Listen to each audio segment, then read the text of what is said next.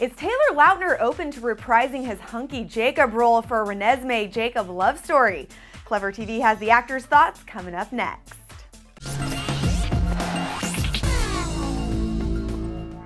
You're back at Clevver TV. I'm Joslyn Davis.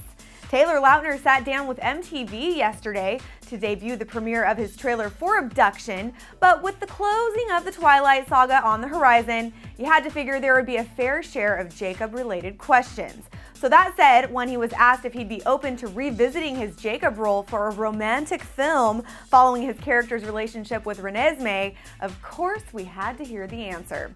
Stephenie Meyer hinted recently that this would be something that she would like to explore someday, and Taylor seemed almost surprised and confused when MTV dropped the idea on him, even saying it was breaking news to him.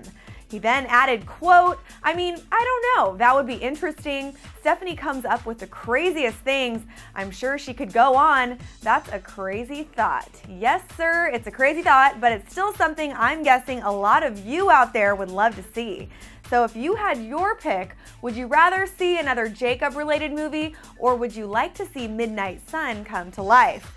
Go ahead and let us know right here and stick with Clevver TV 24 7 for all your Twilight Saga scoop. I'm Joslyn Davis in Hollywood, and we'll catch you later.